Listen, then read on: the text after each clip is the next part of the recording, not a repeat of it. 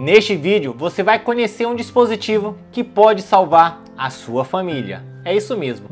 Quantas vezes você viu, ouviu ou leu reportagens, por exemplo, apartamento explode após vazamento de gás, restaurante explode após vazamento de gás, família inteira morre após inalar gás sem saber do vazamento. E este dispositivo aqui é um sensor de vazamento de gás. Quer conhecer mais?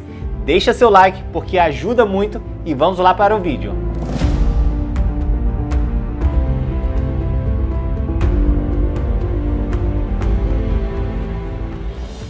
Este sensor de vazamento de gás é da Geonave, ele se conecta na sua rede Wi-Fi de 2.4 GHz. Ele não tem a versão Zigbee por enquanto. Não vai funcionar, não vai ser reconhecido na Alexa e nem no Google Home. Também não vai aparecer lá no IFTT. Tá, Ícaro, mas como eu vou fazer minhas automações? Você poderá fazer todas as suas automações pelo app HiBy Geonave ou pelo Smart Life, pois este sensor ele funciona na plataforma Tuya.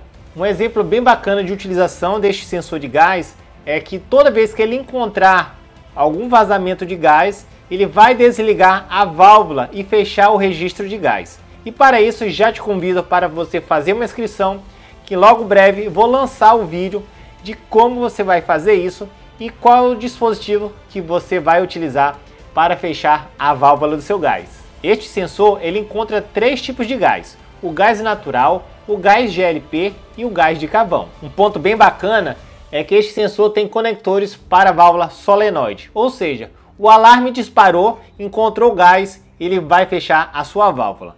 Ou você pode fechar a válvula com outro dispositivo, que vou te contar logo depois. Ele não vai precisar de fonte, tá? Porque ele funciona tanto em 110 quanto 220 automático. Então, basta plugar na sua tomada normal, independentemente da região, vai funcionar. Você deve estar se perguntando, tá, esses buraquinhos aqui é para encontrar o gás? Não. Esses buraquinhos aqui é porque já vem com uma sirene embutida.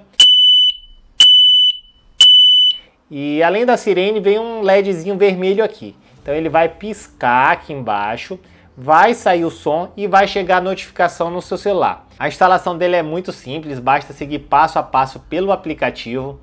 É, dentro do aplicativo você vai conseguir identificar se no ambiente tem gás, tem vazamento de gás ou não, e ainda você consegue ativar algumas notificações é, se ele está com algum defeito, se travou alguma coisa, tudo isso dentro do aplicativo você vai conseguir ativar isso. Gostou? Quer conhecer mais vídeo como este? Faça sua inscrição e lembrando que tem dois vídeos aqui que vão te ajudar bastante. A gente se encontra no próximo vídeo.